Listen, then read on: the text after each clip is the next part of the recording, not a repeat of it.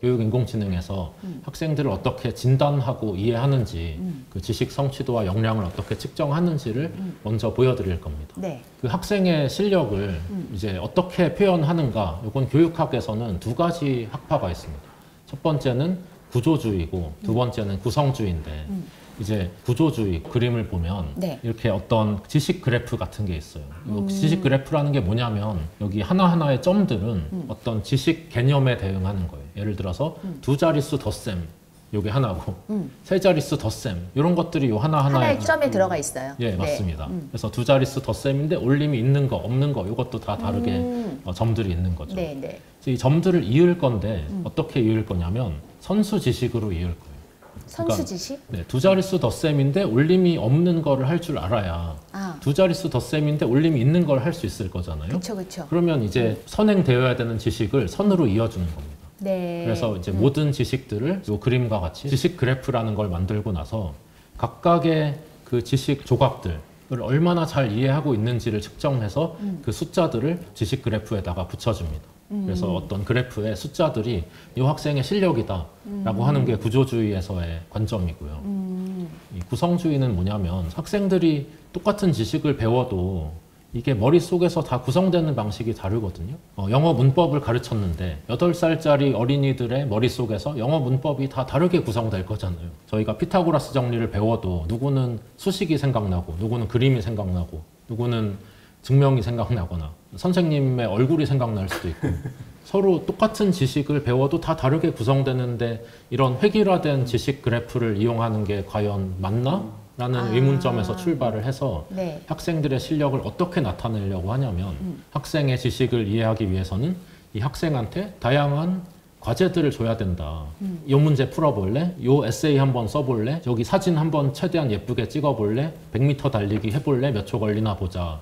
같은 식의 태스크들을 주고 얼마나 잘 대응했는가에 대한 그 퍼포먼스를 측정해서 그 퍼포먼스들을 다 모아놓으면 이 학생의 실력을 대변한다라고 음. 하는 입장인 거죠. 지금 저희가 저 구성주의 그래프를 보고 있잖아요. 그런데 저기 보면은 색깔도 각기 다르고 그 색깔의 농도도 지금 어떤 건 진하고 어떤 거는 옅고 이렇게 다르거든요. 저게 지식의 정도를 나타내는 거예요. 예를 들어 저희가 수학 문제를 만 개를 갖고 있다고 생각을 해보시면 학생한테 저희가 가지고 있는 수학 문제 만 개를 다 풀어봐 그 결과가 구성주의적 실력이겠죠. 근데 사실 누군가한테 만 문제를 풀게 하는 거는 말이 안 되잖아요. 집에 가지 않을까요? 그렇죠. 울면서 집에 갈 것 같은데. 네. 그래서 저희가 뭘 하냐면 음. 적은 수의 태스크만 하더라도 음. 다른 태스크들을 얼마나 잘할지를 예측하는 모델을 만들었거든요. 어. 그러니까 저 그림에서는 어떤 게 되는 거냐면 네. 그림에 만 개의 네모가 있다고 생각을 해보시면 음. 저 중에서 한 30개 정도의 문제를 푸는 거예요. 음. 그렇게 되면 네. 전체 만 문제를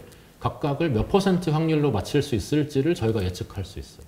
음. 그러면 맞힐 확률이 1에 가까우면 파란색으로 칠하고 네. 틀릴 것 같은 0에 가까운 확률은 빨간색으로 칠한 거를 저렇게 색깔로 나타낸 어. 열 지도입니다. 그래서 히트맵이고 영어로는. 열지도. 네. 그래서 저거를 그리고 나면 뭐가 되냐면 음. 맨 왼쪽이 초등학교 6학년 문제들이고 음. 오른쪽으로 갈수록 고등학교 3학년 문제라고 생각을 해보시면 음. 중학교 2학년 학생이 와서 문제를 한 30문제 푼 거예요. 네. 그럼 어 너는 초등학교 6학년이나 중1에는 이런 것들이 비어 있네. 네가 고3이 되면 이런 것들은 좀 어려워할 것 같네. 음. 같은 것들이 저런 구성주의적인 모델들로 예측이 된다는 겁니다.